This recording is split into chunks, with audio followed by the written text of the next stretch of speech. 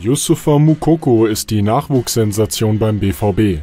In der B-Junioren-Bundesliga erzielte der erst 13-jährige Deutsch-Kameruner bereits 34 Tore in 20 Spielen. Und das gegen deutlich ältere Gegenspieler.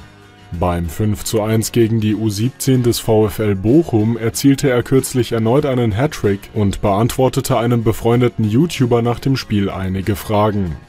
Die mediale Aufmerksamkeit sei für den Stürmer mittlerweile ganz normal. Zitat Viele in England oder Spanien schreiben über mich, das weiß ich. Ich bekomme alles mit, aber das interessiert mich nicht. Auch verrät Mukoko, dass er in regem Kontakt mit dem einstigen BVB-Stürmer Pierre-Emerick Aubameyang steht. Zitat Das Verhältnis ist sehr gut, er gibt mir Tipps. Ich schreibe ihm ab und zu, dass er mir mehr Tipps geben soll und das macht er auch. Ich verstehe mich sehr gut mit ihm. Dass Mukoko aufgrund seiner Torquote eine große Zukunft prognostiziert wird, nimmt der Teenager gelassen. Dazu Mukoko, ich bin noch so jung, ich muss mich noch weiterentwickeln.